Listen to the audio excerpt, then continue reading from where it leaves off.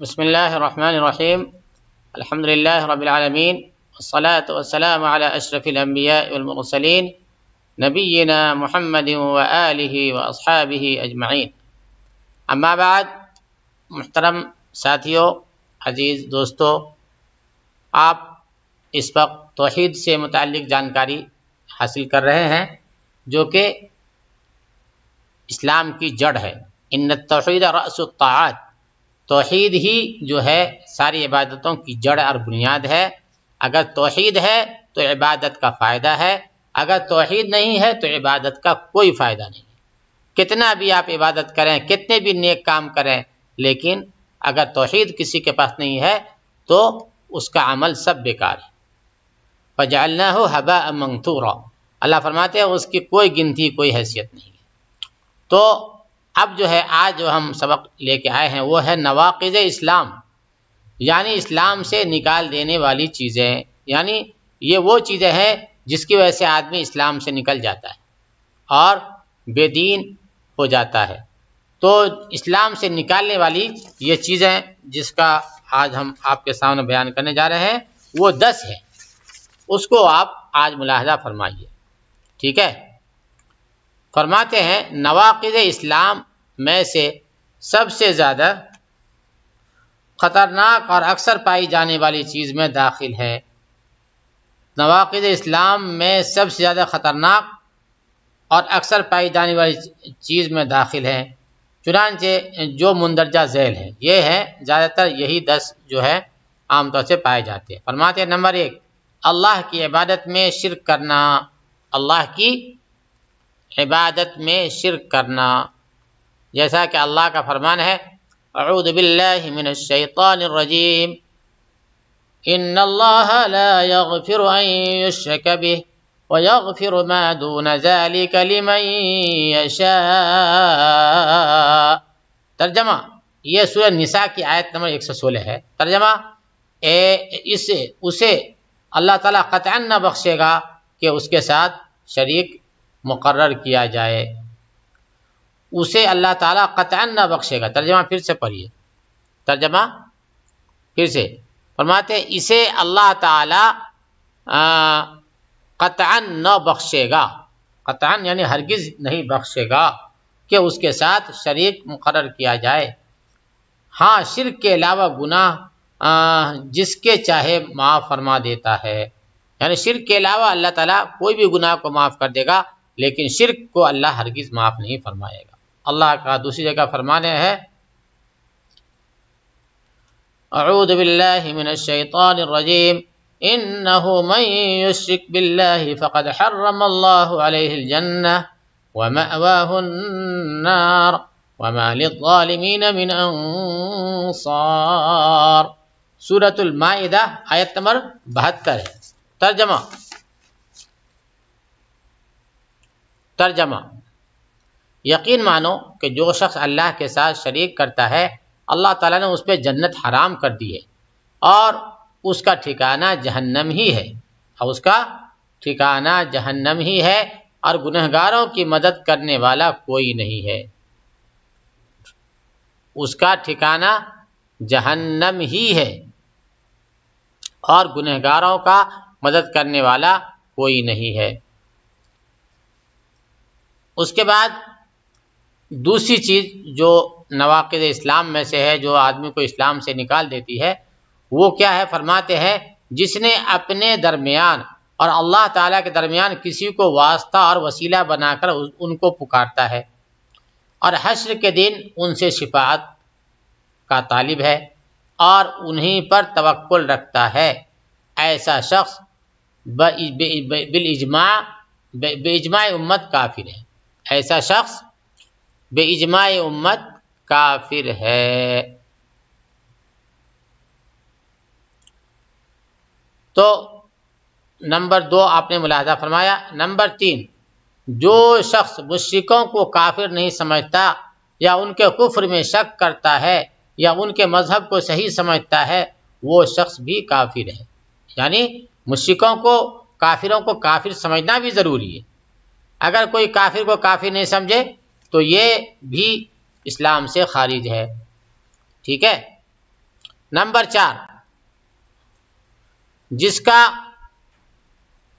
एतक़ाद हो कि दूसरा दस्तूर ज़िंदगी और तरीक़ हयात नबी करीम सल्लल्लाहु अलैहि वसल्लम की शरीयत और आप सल्लल्लाहु अलैहि वसल्लम की हिदायत से बढ़कर कामिल तरीन और बेहतर है या ये अकीदा रखना, रखता हो कि गैरों का हुक्म आप सल्लल्लाहु अलैहि वसल्लम के हुक्म से कहीं ज़्यादा बेहतर और अच्छा है, जैसे कि वह लोग जो तवागित, यानी शैतानों की इतबा करने वालों के अहकाम को नबी करीम सल्लल्लाहु अलैहि वसल्लम के हुक्म पर तरजीह देते हैं, ऐसा शख्स भी काफिर है।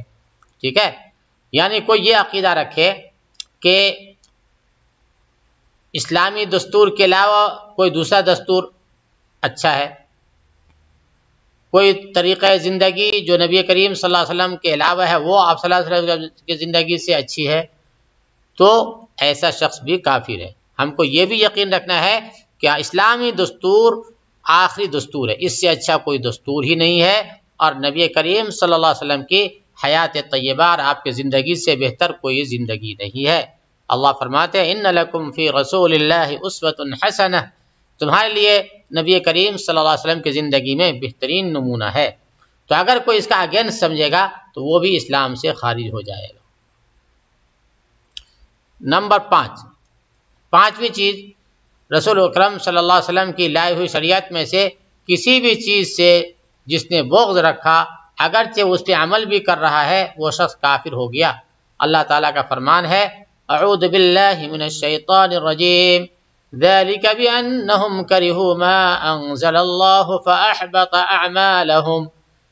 सूरह मोहम्मद आयत नंबर नौ तर्जमा ये इसलिए कि वो अल्लाह की नाजिल करदा चीज़ से नाखुश हुए बस अल्लाह ताला ने भी उनके अमाल ज़ाय कर दिए समझ आया ना यानी नबी करीम सल्लल्लाहु अलैहि वसल्लम लाई हुई शरीयत इस्लामी के किसी भी पार्ट से किसी भी भाग से किसी भी हिस्से से अगर कोई बोझ रखता है तो ऐसा शख्स भी इस्लाम से खारिज है, इस्लाम से निकल गया। नंबर छ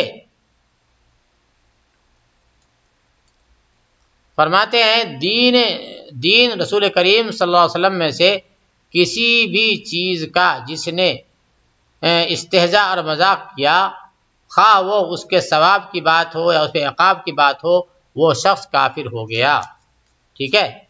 यानी दीन रसूल अकरम सल्लल्लाहु अलैहि वसल्लम से किसी भी चीज़ का जिसने इस्तेजा, मज़ाक किया। यानी नबी करीम सल्लल्लाहु वसल्लम के लाए हुआ दीन इस्लाम से किसी भी चीज़ का मज़ाक उड़ाया। किसी चीज़ का भी जो है ठट्टा उड़ाया, जैसे नमाज़ का नौजबिल्ला नौजबिल्ला नौजबिल्ला या इस्लाम के किसी भी तौर तरीके का अगर किसी ने मज़ाक उड़ाया और उसका जो है ठट्ठा किया तो ऐसा शख्स भी इस्लाम से काफ़ी, इस्लाम से खारिज है। अल्लाह का फरमान है अऊज़बिल्लिमिनशैतानिर्रजीम कुल अबिल्लाहि व आयातिहि कुंतुम तस्तहजिऊन ला तअतदिरू क़द कफरतुम बअद ईमानिकुम सूरत तौबा सूरत तौबा की आयत है पैंसठ और छियासठ तर्जमा कह दीजिए कि अल्लाह उसके आयतें और उसका रसूल ही तुम्हारे हँसी मज़ाक के लिए रह गए हैं तर्जमा फिर सुनिए, कह दीजिए कि अल्लाह और उसकी आयतें और उसका रसूल ही तुम्हारे हँसी मज़ाक के लिए रह गए हैं। सवाल यह जुमला है? तुम बहाने ना बनाओ। यकीनन तुम अपने ईमान के बाद बेईमान हो गए हो। अल्लाह फरमा रहे हैं। नंबर सात। नंबर सात जो आदमी को ईमान से खारिज कर देती है वो है, जादू ऐसी कबील से सिर्फ़ सर्फ और अतफ भी है। जादू और इसी कबील से सर्फ और अतफ भी यानी उसी के एक किस्म है जादू ही के तरह की एक तरीका है सर्फ और अतफ बोलते हैं। सो जिसने ये काम किया उस पर आ, किया उस पर वो राज़ी है काफिर हो गया। वो भी काफिर हो गया यानी जादू और उससे जैसे मिलते जुलते सर्फ अतफ है ये भी करने वाले जो है काफिर हो गए। इस पर अल्लाह तला का फरमान है अऊज़बिल्लिमिनशैतानिर्रजीम वमा युअल्लिमान मिन अहदिन हत्ता यक़ूला इन्नमा नहनु फित्नतुन फला तकफुर सूरह बकरा आयत नंबर 102 तर्जमा वो दोनों फरिश्ते भी किसी शख्स को उस वक्त तक नहीं सिखाते थे जब तक ये न कह दें कि हम तो एक आजमाइश है तो तू कुफ्र न कर फरमाते हैं आगे ब्रैकेट में असर्फ मियाँ बीवी में जुदाई करना सर्फ जो है मियाँ बीवी में जुदाई कर देना।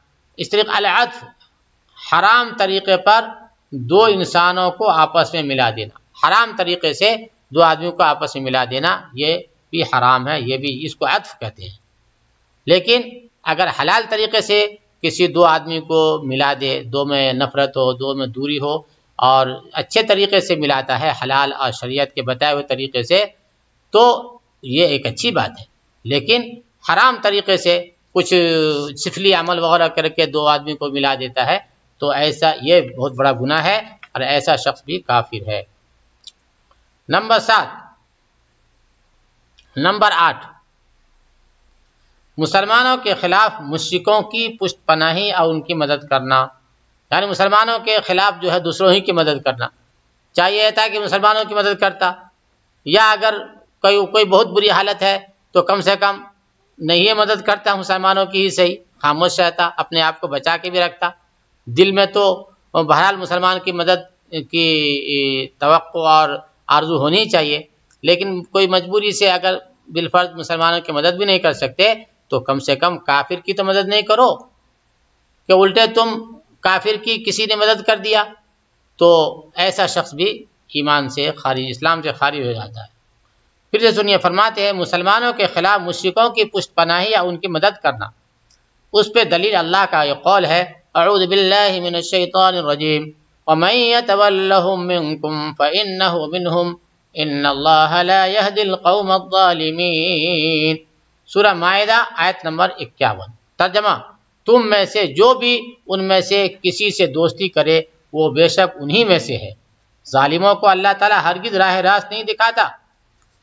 उसके बाद नौवीं चीज़, नंबर नौ, जो ये एतक़ाद रखे कि शरीयत मोहम्मद सल्लल्लाहु अलैहि वसल्लम से कुछ लोगों को निकल निकल कर ज़िंदगी गुजारने का हक़ है, वो काफिर है।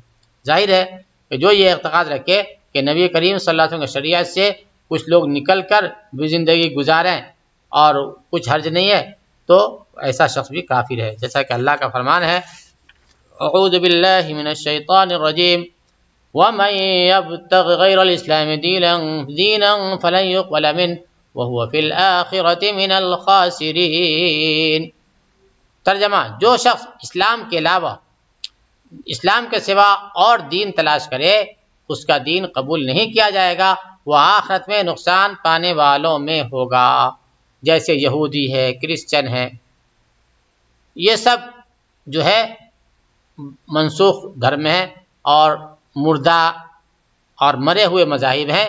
अगर कोई ये कहे कि ईसाइत भी अच्छी है और ईसाइत पे भी चलेंगे तो कामयाब हो जाएँगे।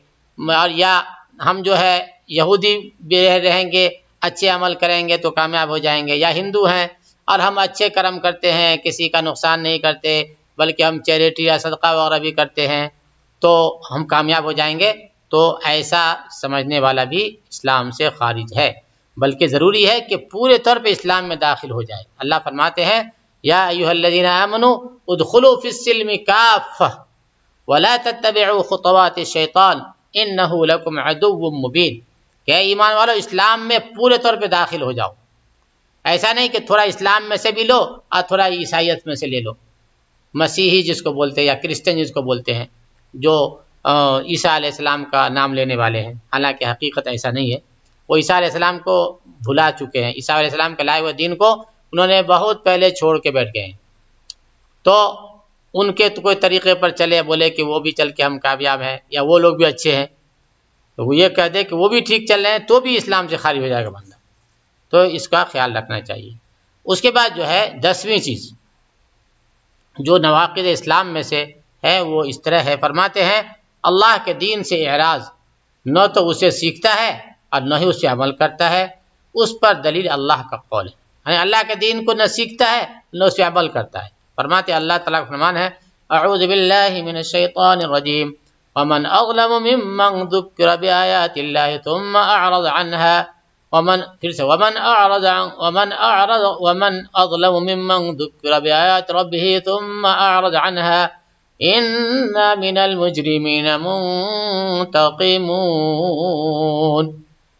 सूरह सजदा, आयत नंबर 22 तर्जमा, उससे बढ़कर जालिम कौन होगा जिसे अल्लाह की आयतों से वाज किया गया, फिर भी उसने उनसे मुँह फेर लिया।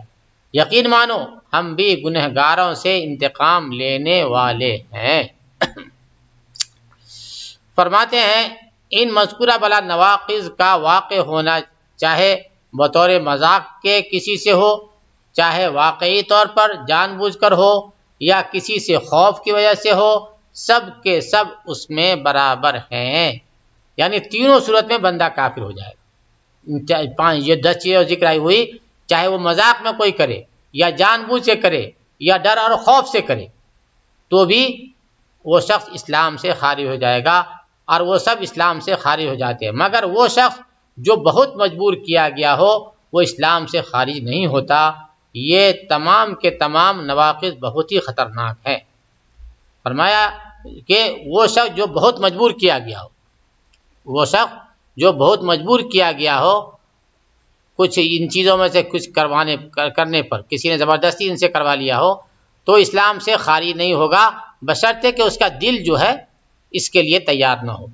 ज़ुबान से मजबूरन उसने कुछ कर दिया लेकिन दिल से वो नहीं कर रहा है, बल्कि वो मजबूर है इसलिए ऐसा कर रहा है। दिल से वो इसको बुरा ही समझता है। तो फरमाते हैं, ऐसा शख्स खारिज जो है इस्लाम से नहीं है। फरमाते हैं, ये तमाम के तमाम नवाक़ बहुत ही ख़तरनाक हैं और अक्सर ये नवाक़ लोगों से वाक़ होते रहते हैं। इसलिए हर मुस्लिम पर ज़रूरी है कि उन तमाम नवाक़ से अपने आप को बचाए। नवाक़ मतलब तोड़ देना। इस्लाम को तोड़ देना, इस्लाम से निकाल देना। और उन सबसे बहुत डरता रहे। हम अल्लाह की पनाह चाहते हैं उनके मुजिबात गज़ब से और उसके दर्दनाक अजाब से। अल्लाह ताला हम सब के ईमान पर हम सबको चलने की तोफ़ी नसीब फरमाए और कुफ्र और शिरक के हर अमीर अकीदा और हर अमल से हम सब की हिफाजत फरमाए और हम सब ये पाँचों दसों नवाक़ से जो है, इस्लाम के जो है, उनसे अल्लाह हम सबको बचाए रखे और हम सब का ख़ात्मा बिल खैर फरमाए। व आखिर दावाना अनिलहमदिल्ला रबालमीन